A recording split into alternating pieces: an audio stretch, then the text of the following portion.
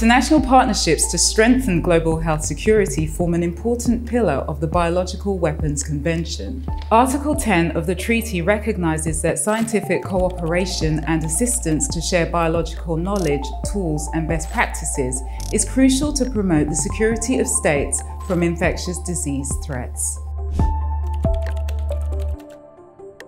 Article 10 has enabled international partnerships to build health security infrastructure, safeguard pathogen collections, train biosecurity and biosafety professionals, increase global capacities in disease surveillance, detection, and response. There have been many Article 10 success stories spanning multiple countries, including Brazil, Georgia, Ghana, Guinea, Laos, Malaysia, Senegal, Thailand, and Uganda.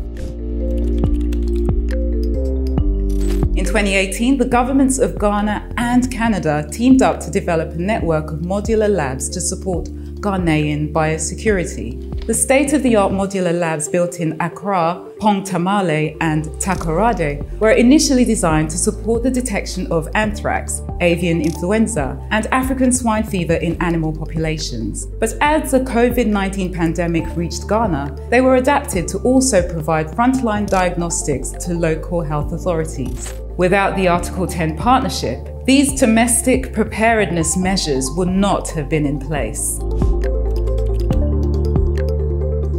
A partnership between the governments of Uganda and the United States developed a multi-year program to strengthen biosafety and biosecurity in Uganda.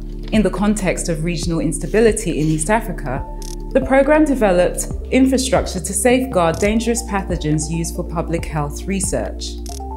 These included physical site protections and workforce training on dual-use research. It also supported the development of labs and the pooling of expert knowledge at public health emergency operations centres. Our collective biosecurity depends on abilities to prevent, detect, and respond to the most serious biological threats wherever they arise. Promoting scientific cooperation and assistance in the biological and medical sciences benefits us all. These crucial partnerships must be promoted and reinforced to protect the collective benefits of Article 10.